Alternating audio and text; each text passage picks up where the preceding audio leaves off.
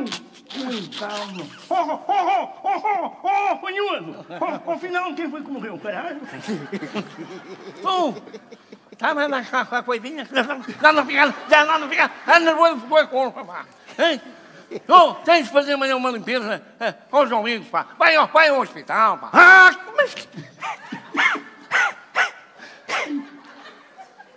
Afinal de contas, quem? Quem foi para o hospital? Ah, já sei. Mas onde é que Esta desagou? agora aquela doença. Onde é que desagou Epá. essa porra aqui da povo? hein? Coitado. Mas afinal de contas,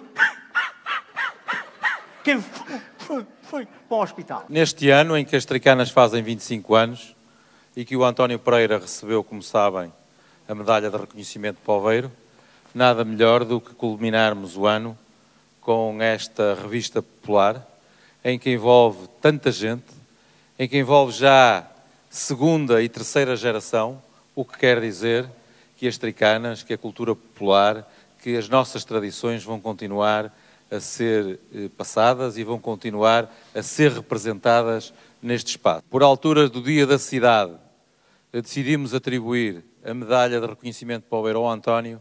As pessoas achavam que isso também era um- uma distinção que só era para alguns.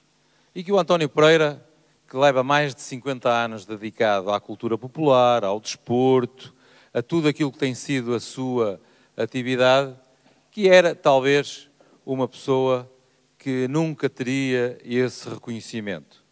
Eu acho que pessoas como o António Pereira são um exemplo para o resto dos cidadãos e para todos aqueles que se dedicam de forma apaixonada, mas desinteressada à cultura e aos outros. António, parabéns pela tua dedicação, parabéns por aquilo que tens feito por todos nós e a vocês todos continuem a representar e a demonstrar que na Póvoa do Varzim há bons artistas e boa tradição de teatro. Muito obrigado a todos.